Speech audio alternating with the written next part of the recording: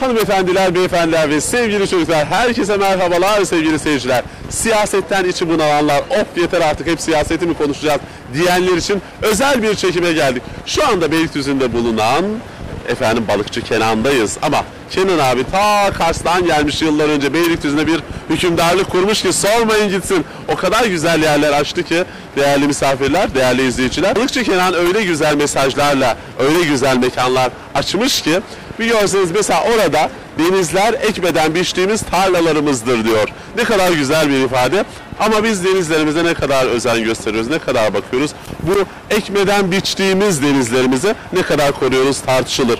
Lütfen ama lütfen hem çocuklarımıza hem de bizler çevre bilincimize dikkat edelim. Şimdi şu havuzda görmüş olduğunuz şu kaplumbağalar var ya ninja kaplumbağalar. Ben önce bunları heykel zannettim ama meğersem güneşlenmek için bu özel platforma çıkmış kaplumbağalar. Her bir tanesini elime alacağım. Umuyorum bir aksilik yaşamam.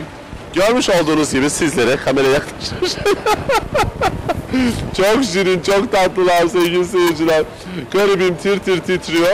Ama onu yerine koyacağım elbette ki. Her canlının sevgiye, şefkate ihtiyacı var sevgili seyirciler. Çocuklarımızı bu doğrultuda büyütelim. Burada başka ne var? Hemen onu da belirtmiş olayım.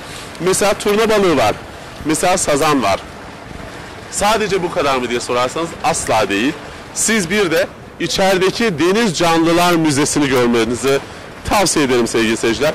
Türkiye'de değil belki de dünyada ilk ve tek dünyanın dört bir yanından okyanuslarda denizlerde tutulmuş hasbelkader ağır takılmış ve yaşamını yitirmiş canlıları özel bir yöntemle burada sergiliyorlar. Bir gün yolunuz Beylikdüzü'ne düşerse lütfen ama lütfen çocuklarınızla birlikte bu müzeyi gezdirin. Bir dipnot, giriş ücretsizdir. Hepinizi sevgiyle selamlıyoruz.